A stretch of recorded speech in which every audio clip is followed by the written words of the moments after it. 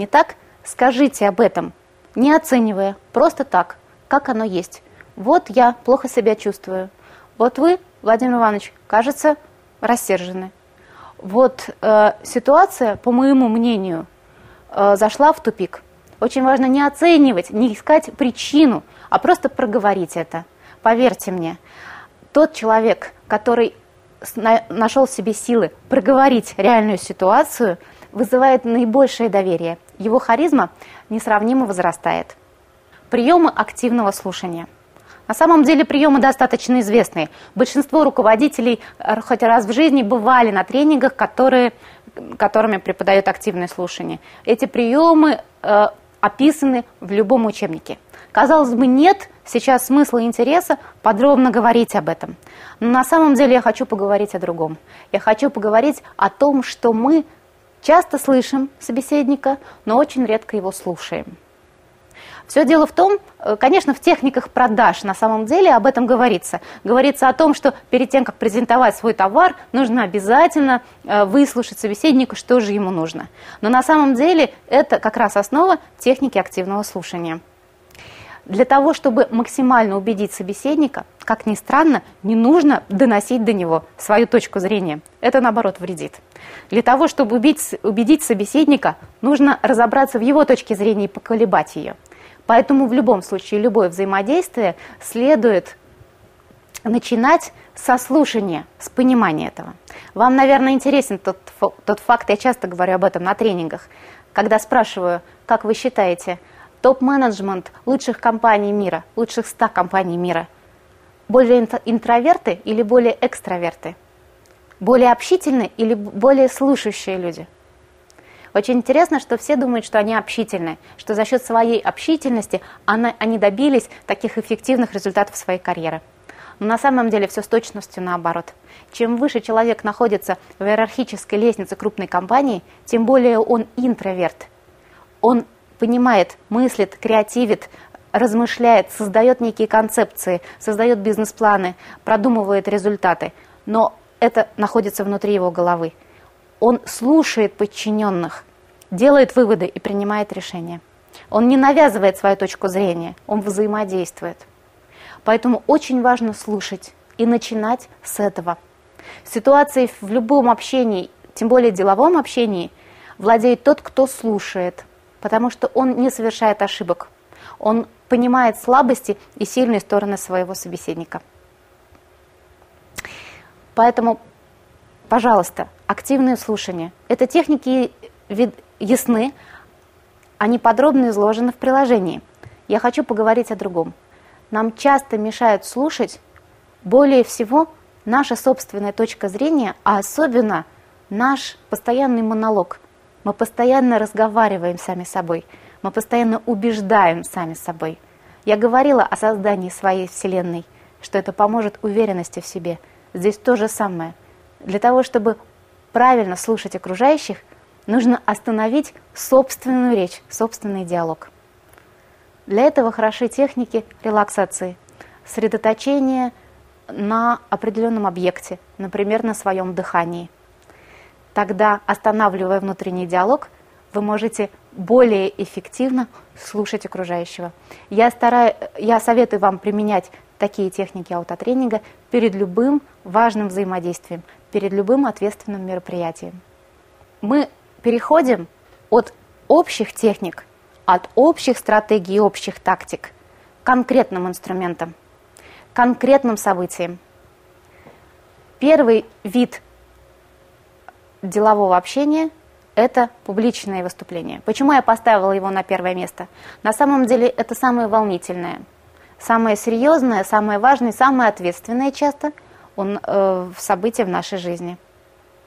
Как персональный консультант могу сказать, что в большей степени меня нанимают именно на наработку навыков публичного общения, а на наработку коммуникативных навыков делового общения только в том случае, когда все уже совсем идет наперекосяк, когда уже конфликтная ситуация настолько стара и э, стойка, что зашло в, ситуация зашла в тупик. Почему публичное выступление так треп, вызывает такой трепет? Даже один из основных страхов человека – это страх публичного выступления. Все дело в том, что публичное выступление – это всегда один против многих. В нашем древнем архетипичном понимании один против многих – это всегда риск смерти. Поэтому, выступая перед аудиторией, мы как будто всегда рискуем своей жизнью. Почему так происходит?